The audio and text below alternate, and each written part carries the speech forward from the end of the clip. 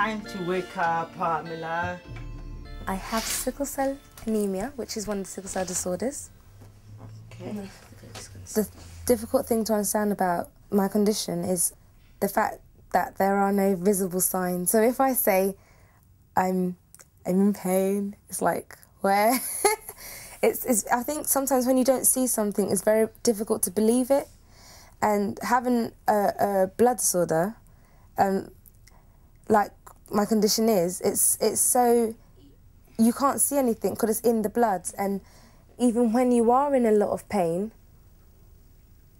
because there's nothing really visible, it's very hard for people to grasp. I think the most distinctive thing about my condition is the way it can be so unpredictable because I can wake up and feel great or I can wake up and not, and not I'm not really sure how my day is. I can wake up and feel really bad or I can go to bed feeling great and wake up feeling in a lot of pain. It's just very unpredictable. Sickle cell, it's genetic, so you can't catch it.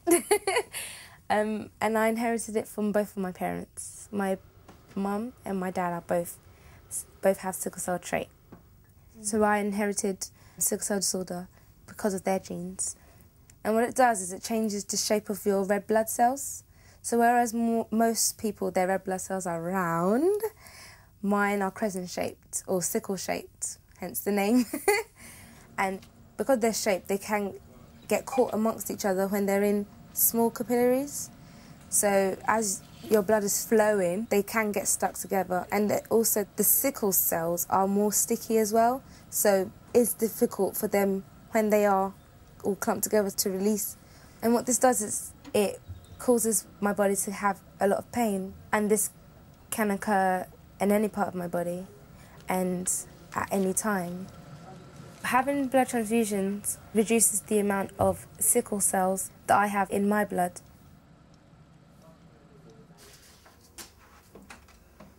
The place where I get pain most frequently is my hips.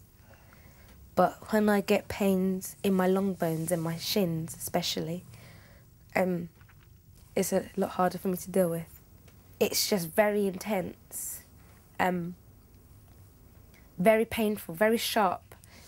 It's like it's under somewhere and you can't dig it out to deal with it. And it just feels like a gentle hammering that kind of gradually builds up till you just can't take anymore. It feels like there's a pressure point and it feels like you're gonna snap. it's really horrible, but it does feel like you could just snap. when I have a bad day, it's it's very difficult actually. I tend I, I just have to I have to stay at home. Bye everyone. Bye. At times, especially like during the school um, term, I just, you know, you just think about all the things that are going on, how much you're going to have to catch up on. My average, my average school attendance is about 60%. So I'm now two years behind going to uni. And the hardest thing for me is when I'm at home and I feel really ill, but I can't do my schoolwork at home. And that, I always feel guilty. It's hard to see where everybody else is going and you being held back. Um, that's something that's really difficult to deal with.